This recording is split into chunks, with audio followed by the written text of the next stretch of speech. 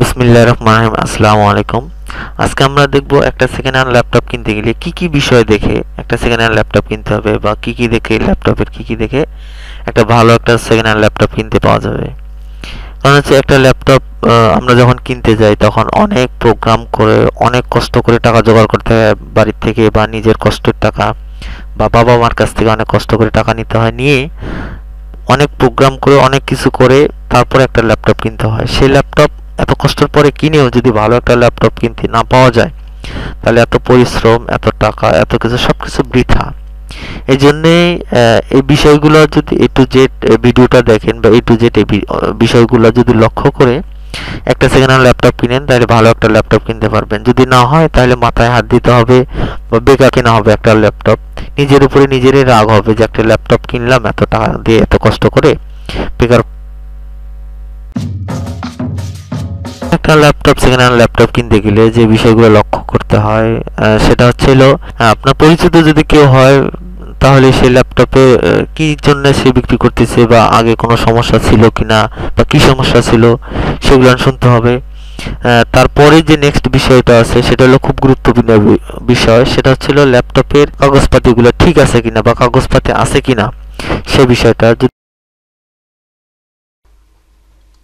please click my channel subscribe and bell button যদি পরিচিত হয়, হইল, যদি পরিচিত না হয়, তো সে কাগজপাতিগুলা যদি না থাকে, তাহলে অবশ্যই সেই লোকের voter ID card plus phone number নিয়ে রাখতে হবে।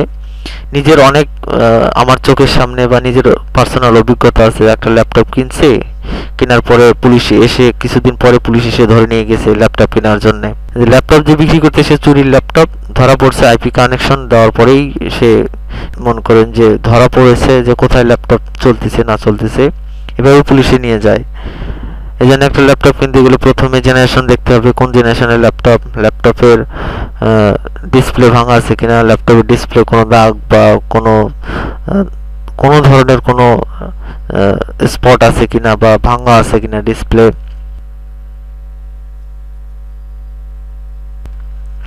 তারপরে যেটা আছে র্যাম কত জিবি আছে বা র্যাম কয়টা আছে?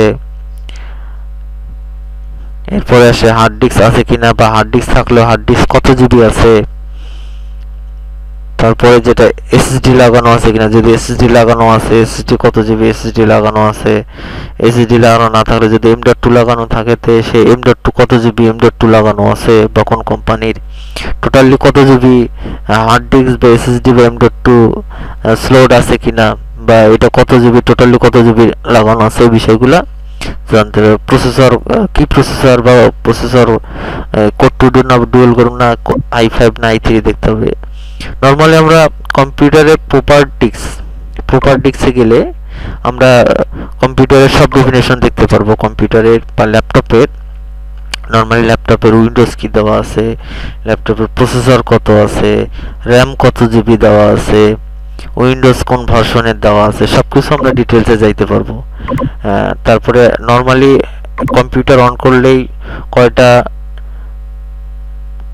ড্রাইভ শো করে বা ড্রাইভগুলো কত জিবি আছে সেটা টোটাল করলেই আমরা নর্মালি বুঝতে পারব। যদি এভাবেও বুঝতে না পারি, তাহলে আমরা কম্পিউটারে রাইট কম্পিউটারে ক্লিক করে রাইট বাটন ক্লিক করব, করার পরে ম্যানেজ ম্যানেজে ক্লিক করব। ম্যানেজে ক্লিক করার পরে আমরা ডিস্ক ম্যানেজারে ক্লিক করব, নিচের অপশন নিচের অপশন ডিস্ক ম্যানেজে ক্লিক করব। ডিস্ক ম্যানেজারে ক্লিক করার পরে আমাদের ডিস্ক শো করবে। এম ডট টু থাক বা এসএসডি থাক বা হার্ড ডিস্ক থাক, ওখানে শো করবে কত জিবি আছে বা একটা বা দুইটা যেটাই লাগানো থাক, থাকবে। ব্যাটারি চার্জ কতটুকু থাকে বা ব্যাটারি ফুল চার্জ হয় কিনা বা ব্যাটারি কতক্ষণ ব্যাকআপ দেয়, তারপরে অরিজিনাল চার্জার আছে কিনা বা চার্জার দিয়ে ল্যাপটপ চলে কিনা বা চার্জার দিয়ে চার্জ হচ্ছে কিনা, সেটা দেখতে হবে। তারপরে কিবোর্ডের সব কিগুলো কাজ করে কিনা এটাও দেখে নিতে হবে টাইপ করে। ওয়েব ক্যামটা ঠিক আছে কিনা বা ওয়েব ক্যাম দিয়ে কাজ হচ্ছে কিনা, তারপরে আমরা নর্মালি ল্যাপটপটা অন করব। অন করতে কতক্ষণ সময় লাগে?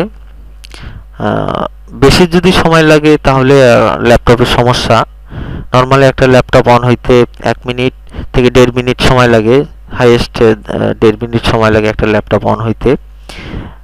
বন্ধ হইতে আরও কম সময় লাগে, দেড় মিনিটেরও কম সময় লাগে। এক মিনিটের ভিতরে বা এক মিনিটের আগে অনেক সময় ল্যাপটপ বন্ধ হয়ে যায় শাটডাউন দিলে। যদি কোনোটাই যদি, দুইটাই যদি সমস্যা হয় তাহলে ল্যাপটপের সমস্যা ল্যাপটপ আমরা রান করে দেখব ল্যাপটপ যদি গরম হয়, অতিরিক্ত গরম হয়। নর্মাল গরম একটা কথা, অনেক সময় অতিরিক্ত গরম হয়। যদি অতিরিক্ত গরম হয়, তাইলে সমস্যা আছে। মাদারবোর্ডের বা প্রসেসরের সমস্যা আছে। সেক্ষেত্রে ল্যাপটপের পোর্টগুলা দেখে নিতে হবে। এইচডিএমআই ভিজিএ এভিআই কর্ড পোর্টগুলা সাউন্ড পোর্ট বা স্পিকার ঠিক আছে কিনা। এই পোর্টগুলো একটা একটা করে আমরা দেখব। তারপরে ওয়াইফাই কার্ড ঠিক আছে কিনা। নর্মালি ল্যাপটপটা অন করে ল্যাপটপটা কিছুক্ষণ চালিয়ে দেখব, ল্যাপটপের কোন কোন প্রোগ্রাম ইনস্টল করা যায় বা কোন কোন সফটওয়্যার রান করা যায় বা রান করলে ল্যাপটপ কেমন হিট হয়, এই বিষয়গুলো দেখতে হবে, দেখে নিতে হবে। এই বিষয়গুলো যদি নর্মালি আমরা দেখে যদি একটা সেকেন্ড হ্যান্ড ল্যাপটপ কিনি, তাহলে আশা করি এই ল্যাপটপটা অনেক দিন আমরা চালাইতে পারব কোনো সমস্যা হবে না। তো বিষয়গুলো যেগুলো বলা হলো, এই বিষয়গুলো অবশ্যই লক্ষণীয় বিষয়।